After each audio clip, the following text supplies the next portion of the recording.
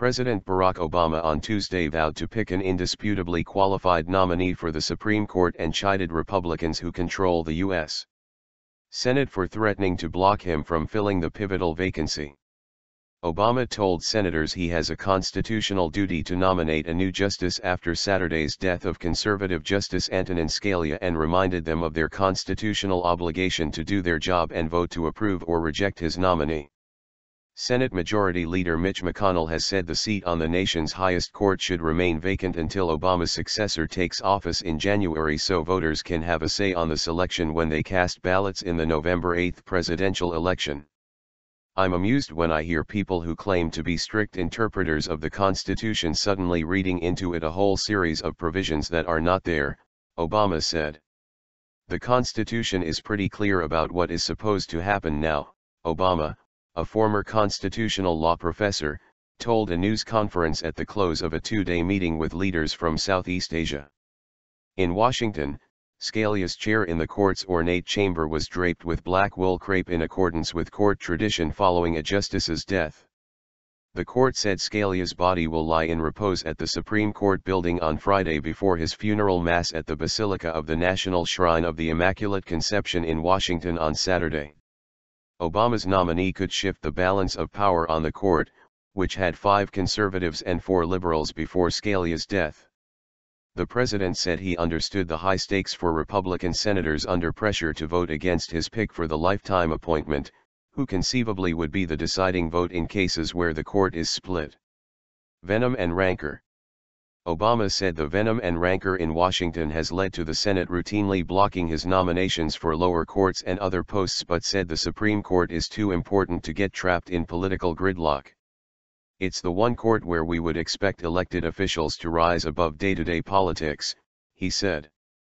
But Republicans have pointed out that Obama and members of his cabinet, who were then in the Senate, were not above trying to block the Supreme Court nomination of Justice Samuel Alito by then-President George W. Bush in 2006.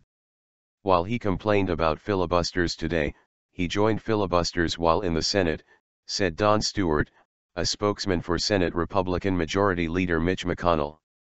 Asked about his record, Obama acknowledged Democrats have played politics with nominations, too, through what he described as strategic decisions that ultimately did not block the president's nominee. But what is also true is Justice Alito is on the bench right now, Obama said. Obama's strategy Obama shed little light on whom he would choose or how the White House will try to finesse his choice through Congress. We're going to find somebody who is an outstanding legal mind, somebody who cares deeply about our democracy and cares about rule of law, Obama said.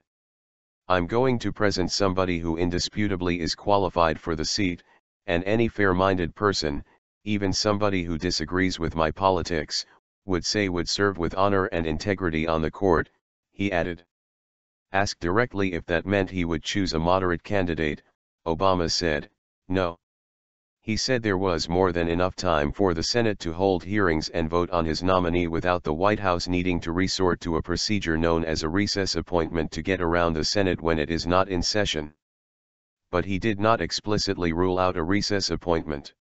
Republican Judiciary Committee Chairman Chuck Grassley, whose panel weighs Supreme Court nominations, said on Tuesday he will wait until Obama names his pick to fill the vacancy before deciding whether to hold confirmation hearings. Grassley has offered mixed messages since Scalia's death on how the Senate should proceed on the vacancy, alternating hardline views on blocking any nominee with comments not ruling out hearings.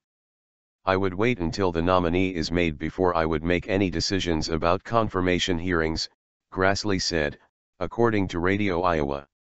In other words, take it a step at a time.